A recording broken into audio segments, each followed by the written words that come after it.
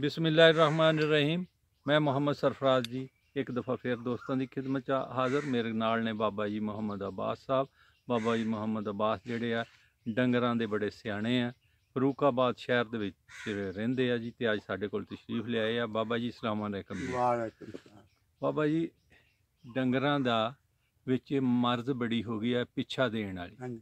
ਇਹ ਕਿਉਂ ਕਰਦੇ ਆ ਡੰਗਰ ਤੇ ਇਹਨਾਂ ਦਾ ਕੀ ਇਲਾਜ ਕਰਨਾ ਚਾਹੀਦਾ? ਇਹ ਹੁੰਦੀਆਂ ਨੇ ਦਲੀਲਾਂ ਪਿੱਛੇ ਦੀਆਂ ਤਿੰਨ।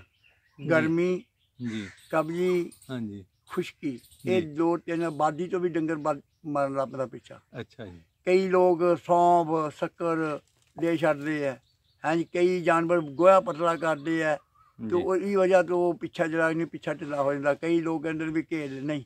ਤੇ ਅੱਧਾ ਕਿਲੋ ਤੇਲ ਹਾਂਜੀ। ਤੇ ਅੱਧਾ ਕਿਲੋ ਸ਼ੱਕਰ। ਹਾਂਜੀ। ਉਹ ਇੱਕ ਜਾਨ ਕਰ ਲੈਣਾ ਹੈ। ਹਾਂਜੀ। ਹਾਂਜੀ।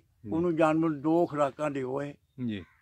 ਤੇ ਪਿੱਛਾ ਨਹੀਂ ਮਾਰੇਗੀ। ਅੱਧਾ- ਸੂਣ ਵਾਲੀ ਵੀ ਹੋਵੇਗੀ। ਅੱਧਾ ਕਿਲੋ ਘੇ। ਅੱਧਾ ਕਿਲੋ ਤੇਲ ਸਰੋਂ ਦਾ। ਅੱਧਾ ਕਿਲੋ ਤੇਲ ਸਰੋਂ ਦਾ। ਤੇ ਅੱਧਾ ਕਿਲੋ ਸ਼ੱਕਰ ਜੀ। ਅੱਧਾ ਕਿਲੋ ਸ਼ੱਕਰ। ਹਾਂਜੀ। ਇੱਕ ਜਾਨ ਕਰ ਲੈਣੀ ਉਹਨੂੰ ਘੋੜ ਕੇ। ਅੱਛਾ ਜੀ। ਹਾਂਜੀ। ਉਹ ਦੇ ਦਿਓ।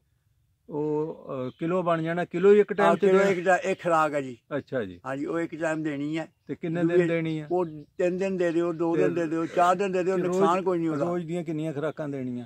ਰੋਜ਼ ਇੱਕੋ ਖੁਰਾਕ ਦੇਣੀ ਰੋਜ਼।